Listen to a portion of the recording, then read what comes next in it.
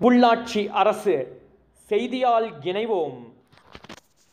வணக்கம். உள்ளாட்சி அரசு செய்திகள் வாசிப்பது சரவணன். தமிழ்நாடு கிராம நிர்வாக அலுவலர் சங்கத்தின் இருபத்தி ஓரு அம்ச கோரிக்கையை நிறைவேற்ற வேண்டி நடைபெற்ற போராட்டத்திற்கு ஆதரவு தருமாறு தமிழக அரசை விடுதலை சிறுத்தைகள் கட்சியின் தலைவர் டாக்டர் எழுச்சி தமிழர் தொல் திருமாவளவன் கேட்டுக்கொண்டுள்ளார். சேலம் மாவட்டம் ஆத்தூர் கிராம நிர்வாக அலுவலர் சங்கத்தின் கோரிக்கை மனுவின் நகலை எழுச்சி தமிழர் அவர்களின் பார்வைக்கு கொண்டு செல்லும் வகையில் ஆத்தூர் கிராம நிர்வாக அலுவலர் சங்க தலைவர் ரகுபதி செயலாளர் சுரேஷ் பொருளாளர் ஞானவேல் மாவட்ட பொருளாளர் வாசுதேவன் கொள்கை பரப்பு செயலாளர் சவுந்தர் மற்றும் சங்க உறுப்பினர்கள் ஆகியோர். இருபத்தி ஏழு பன்னிரெண்டு இரண்டாயிரத்தி பதினெட்டு விடுதலை சிறுத்தைகள் கட்சியின் சேலம் மாவட்ட இளம் சிறுத்தைகள் எழுச்சி பாசறை மாவட்ட துணை அமைப்பாளர் மு செல்வம் அவர்களிடம் வழங்கினர்.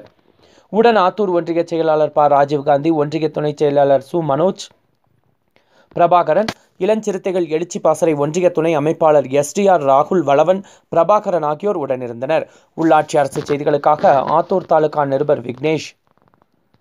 செய்திகளை உடனுக்குடன் தெரிந்து கொள்ள உள்ளாட்சி அரசு செய்திகளை சப்ஸ்கிரைப் செய்யுங்கள். தொடர்ந்து பெல் பட்டனையும் பிரஸ் செய்யுங்கள்.